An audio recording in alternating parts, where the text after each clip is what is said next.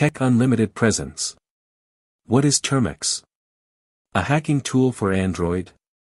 Termux is basically an Android application, APK, that can provide a Linux-like terminal on your Android device in which you can set up a programming environment and run or execute scripts like Python, Bash, Git, etc.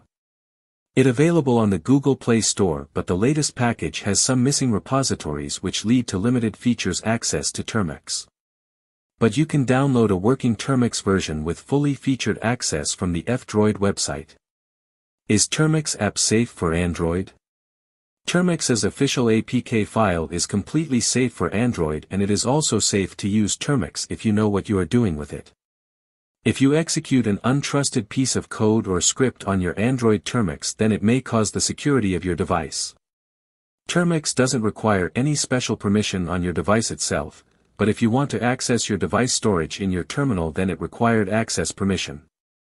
This application basically provides you Linux-like command line terminal on your Android so if you have basic knowledge of the command line interface then you can easily use it. Can we perform hacking with Termux?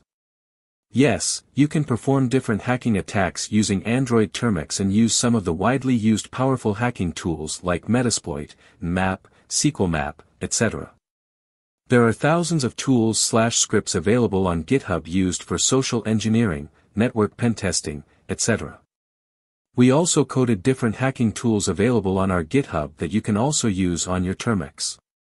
If you are a person who likes to do pen testing or ethical hacking using your Android then Termux is the best application that provides you Linux-like terminal on your Android. Do you want APK file of Termux? Tell us in the comment and we will drop it soon. Final words follow me on Instagram and Twitter as Brian Nelson. Don't forget to subscribe.